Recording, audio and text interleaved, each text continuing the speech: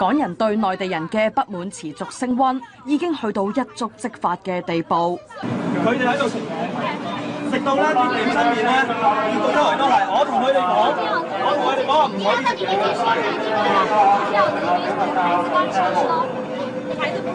跟住俾人闹我哋而家點啊？因个香港地方嚟噶。所有人都知道港铁车厢入面系唔可以食嘢，不过片入面嘅内地人就坚拒认错，仲继续大吵大闹。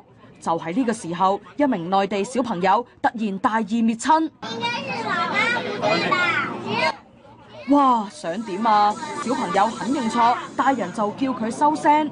咁其后双方阵营都有唔关事嘅人加入，令到呢场中港大战越战越激烈。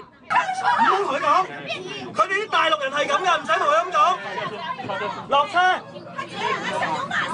好多网民睇完短片之后，都大赞个香港先生，咁又话明明系个内地人唔啱，仲要声大夹恶。亦都有网民话，政府再唔做嘢，任由双非孕妇或者其他嘅内地人嚟到香港侵占资源，迟早会爆发中港大混战。系罗林司长，系时候要谂下办法啦。你口中嘅新血，睇嚟同本地血唔系太沟得埋噃。MNTV 东方电视新闻台报道。